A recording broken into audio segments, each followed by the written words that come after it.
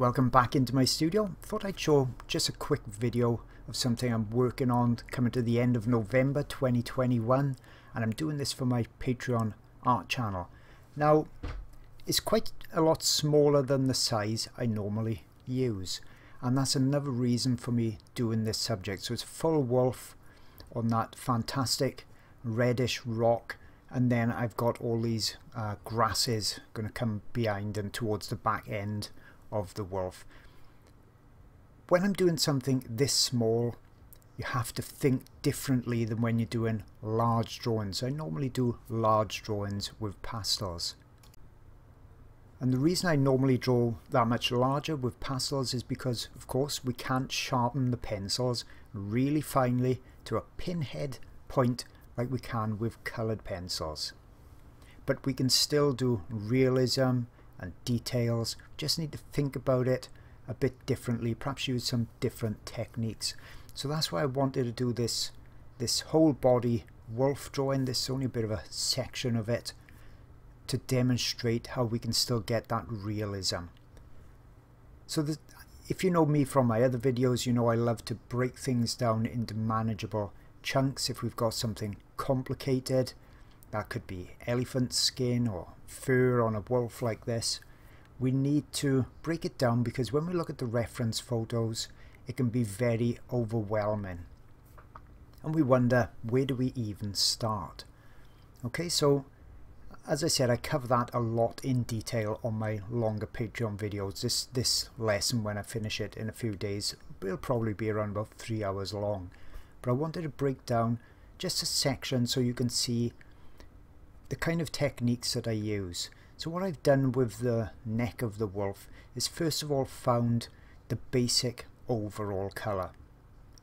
Now that was a grey and because it's a small drawing I just put that in with pencil but you could just as easily put it in with pan pastels or soft pastel sticks. I prefer the harder sticks like Rembrandt rather than super soft sticks okay because they can fill that too for the paper up very quickly and easily if you're not very very careful. So I put that initial layer in with pencil and I rub it in quite firmly with my finger or with a paper stump if I want to get it really really rubbed in. Following on from that initial colouring in layer, that basic colour, that's when I'm doing what I call the texturizing layer and that's putting in these darker marks which are really the shadow areas in between the clumps of fur. Now when I'm drawing very large, it's the shadow areas in between almost individual hairs of fur. But when we're working smaller, it's more like the clumps of fur. And you can see I'm making sure I'm going in the direction that is actually growing on the wolf or the way it's sitting on the structure, the body structure of the wolf. My pencils are fairly sharp. They won't go much sharper than this without the nib breaking. Okay, so that's about as sharp as I go.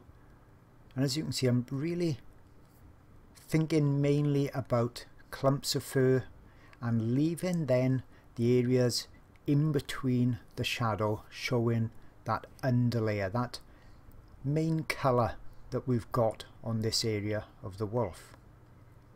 Now I'm not putting the dark everywhere because if I did the whole of the neck, this really dark grey or, or black, then I'd struggle probably to put the highlight on top. So that's why I'm doing this kind of negative drawing where I'm leaving the areas I'm going to put the highlights on top of.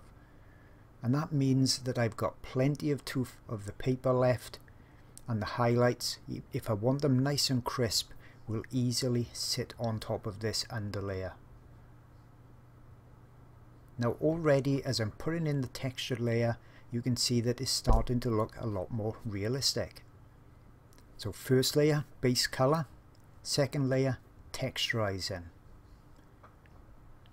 Now up here towards the top it goes a bit lighter this is the grey colour that I use for that base colour. And that's a Pitt pastel pencil. When you see the shaft of the pencil that's a wood colour like this, it's generally my Pitt pencils. my two favourite brands, Pitt and Carbothello. I do use other brands, but these are the ones I, I use more often than not. Now I'm just softening it slightly by touching it with my finger, so the edges are not really super defined and hard. Now because pastel mat holds the pastel very well, you can rub it on the surface and it doesn't just smudge away to nothing. If you're using a, a soft paper or like an ombre paper, it would just smudge away. Now the top parts of fur are being acted upon by the blue sky that's above and the way the light is behind. It's kind of like the blue sky almost wraps around the finer haze of fur on the top. Now that's what separates more advanced artists from beginners and novices. The beginners and novices don't normally notice things like fine or slight color adjustments. Now that's all about looking at your subject a lot, really studying it and looking at the reference photo and looking for these, as I said, very slight color adjustments. And I'm going to carry on putting that blue edging around the wolf's neck and back.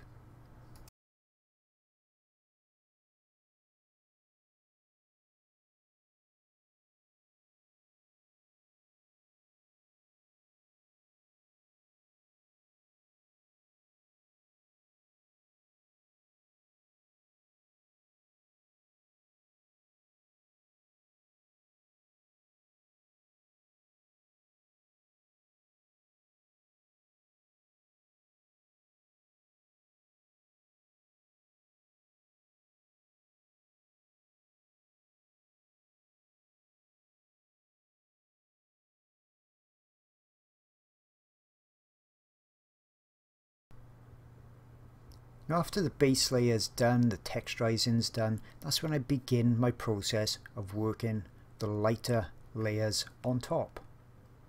Now some areas like here on the back is really quite light, almost a white. Got a bit of rim light in as well. That's coming from that moon. Now this is a Derwent pencil, so if you see me using a pencil that's got this burgundy shaft, they're always my Derwent pencil. Now, they're not my favourite brand. They can sometimes snap in the sharpener quite a lot. But they do have a nice range of lovely colours. The purples and the flesh tones especially are really nice in there. Now this is a Carbothello pencil. So you can see the Carbothellos, they have the shaft of the pencil the same colour as the nib. So that's really handy. So if you see me using a pencil like this with that grey tip to the back end, that's the Carbothello pencils.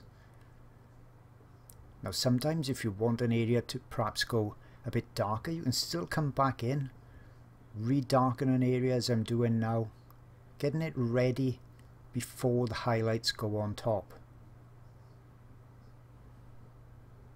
Because as you continue to work on the subject and the refinement is growing on there, then you get to see smaller adjustments that you may need to make. And that's what happened here. I blocked it in, I texturized it, I was starting to add the highlight and then I noticed this could really go a bit darker in a few areas. So I'm just refining that, as I said, before I put the highlights on top.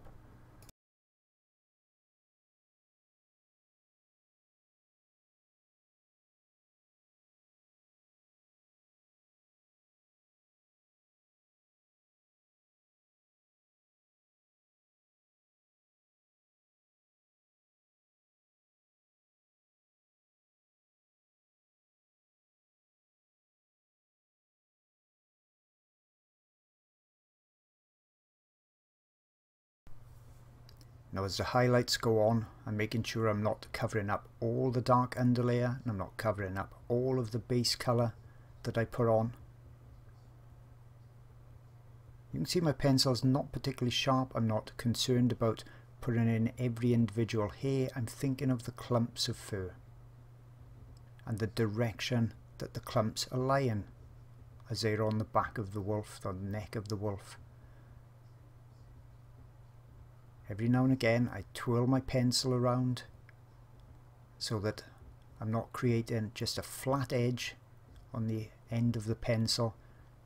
If I just hold it the same all the time then after a few strokes I've got really a, kind of like a chiseled edge on the pencil and I'd need to keep sharpening it. So after I've done a few strokes I turn it. You see it just turned it there. I lift it off the paper, turn it. That helps to keep the tip more cylindrical, more conical rather than getting that flat edge.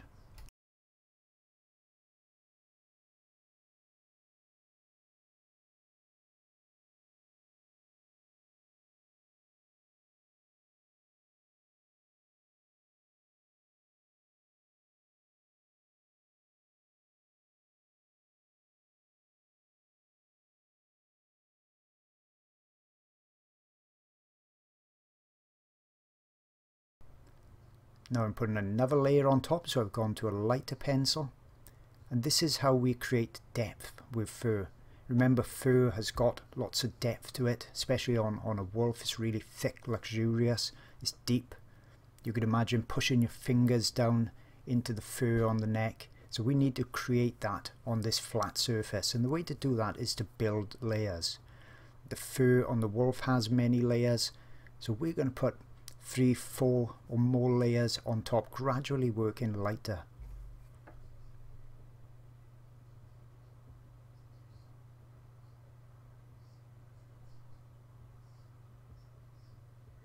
Down here under the neck it's in shadow, so rather than reaching for a black, I'm putting in a dark purple, and that's going down to a dark blue as you can see on the foreleg. Don't just assume that shadows are black here I'm using a very small paper stump just to blend those colours in. And that's also getting rid of any graininess you may have or I may have on the Pastelmat paper surface. So that's the way I get rid of that grainy texture some people find on a sanded or Pastelmat surface. Just darkening it. Once I put those colours in I can come in with a black using it lightly just to darken it all and those colours will still shine through and it won't be just a flat dead looking black colour. So just a few more hints of darkness here before I can start the highlights again. And remember the important thing is apply the highlights in the direction of the fur growth. The way it's lying on the structure of the animal because that's what's given it that shape, that form.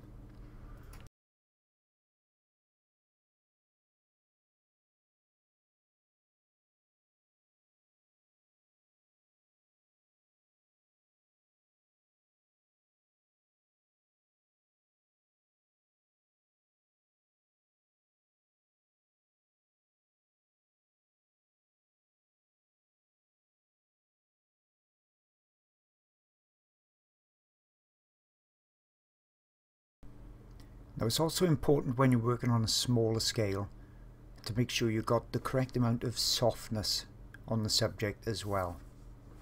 So every now and again you can see I'm touching the surface, that's just softening it very slightly. Now of course soft edges are important whether you're working large or small but particularly when you're working small you don't want it to look more like a porcupine by putting in lots of very hard edges. Now it can look like it's a hard edge if you have something very dark and then on top of that you put something substantially lighter. So you can see on the neck of the wolf that there's no great difference from dark to light. It's only really subtly getting lighter. And here I'm putting on some of the brighter highlights. That's helping to give that three-dimensional appearance. And also down on this foreleg as well.